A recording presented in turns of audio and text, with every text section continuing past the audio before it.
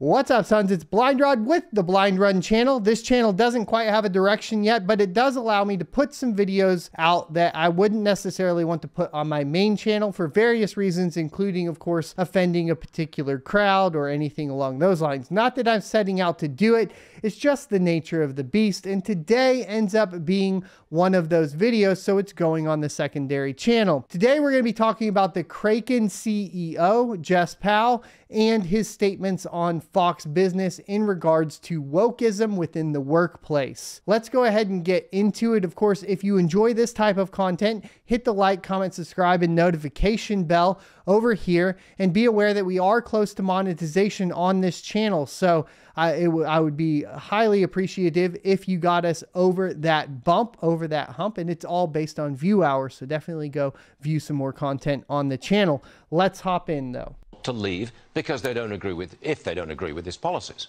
The CEO is Jesse Powell of Kraken, and Jesse Powell joins me now. Jesse, did you feel that you, your company was under attack from the inside? Absolutely.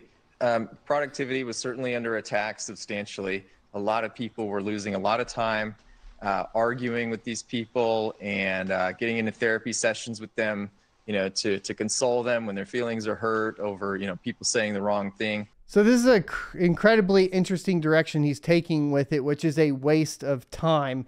And it specifically goes around the factor of instead of these people that are practicing wokeism within the workplace, just getting their work done, instead what they're doing is basically just complaining about the workplace conditions, depending on basically whatever woke ideology they are adhering to, arguing with other people, and then using that as an advantage to go through therapy sessions or something along those lines during work hours instead of getting work done. Now, one of the things I want to bring up in relation to productivity here that I see a lot, and I think a lot of people have discussed this, it's not just my theory in regard to this. But with wokeism, what you set up is a section of people that are playing victim cards as opposed to advancing through society or the workplace with merit. And what I mean by that is they use something within the wokeism ideology, whether that be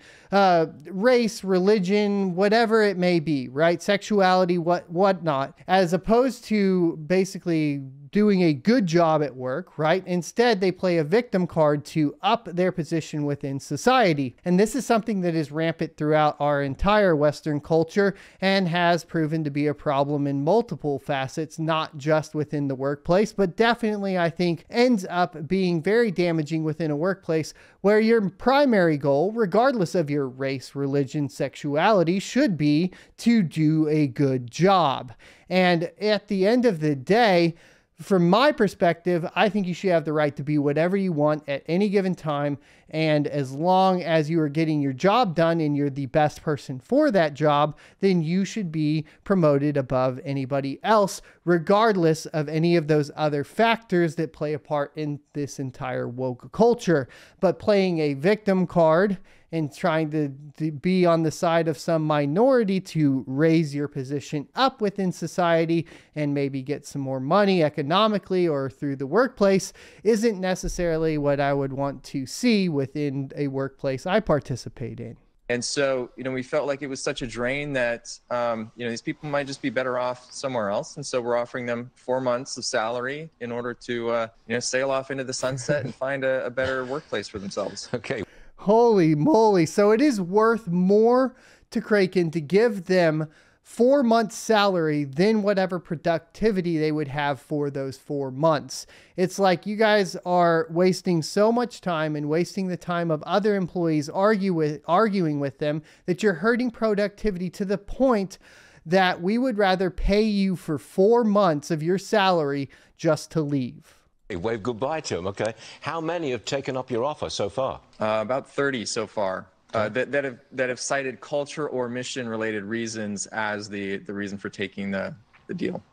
Um, what do you do if they don't leave and they stay within the company, passing around what you might call poison and poisoning the atmosphere of the workplace? What do you do with them? That's a great question. And, and I'm sure there will be some of those people that stay behind and uh, they want to push their agenda. But you know, I want everyone to know that this this is not going to be a workplace where we're going to tolerate that kind of behavior, and uh, people will be managed out the hard way if that's what it takes. Man, you're really so managed out the hard way is an interesting position to take because I assume that means what they will do is some sort of merit based tracking system traditionally i haven't gotten along with a lot of these in most it industries because for the most part if you use something like cw uh, or which is ConnectWise or some sort of management software like that, you're kind of dependent on the employee to just put in the amount of hours, and it's really hard to track that.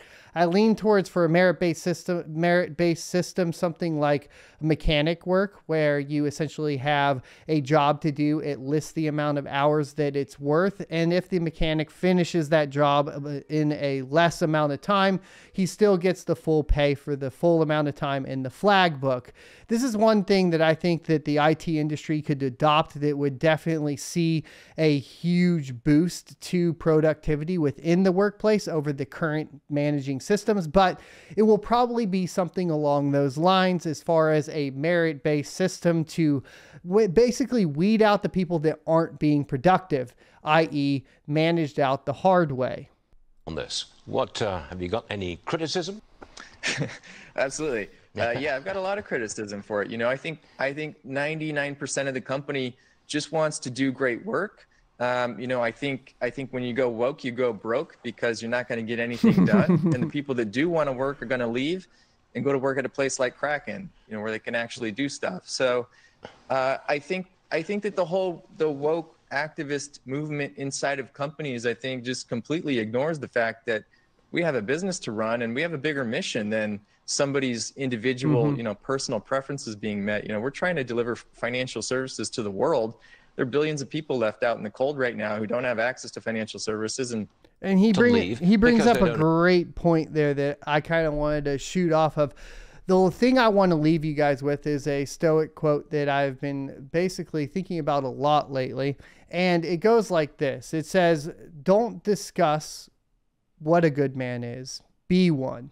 And this is basically an attack directly on wokeism as you kind of think about it, because wokeism is basically a bunch of people arguing between each other over what is good or bad, as opposed to just being a good person based on your ideology or principles. So if you are uh, adhering to a principle within wokeism that you really think is good, as opposed to just discussing it and pressing that onto other people and you should imposing that onto other people with speech you should in general just decide to be a good person live by those principles set an example and go that route. Once again i want to leave you with that. Don't discuss what a good man is. Be one Thanks everybody for watching today. If you enjoy this type of content, hit the like, comment, subscribe down below, and share this channel out because we will be hitting harder topics over here. And we actually have quite a few that I want to be discussing that will not be going up on the Son of a Tech channel.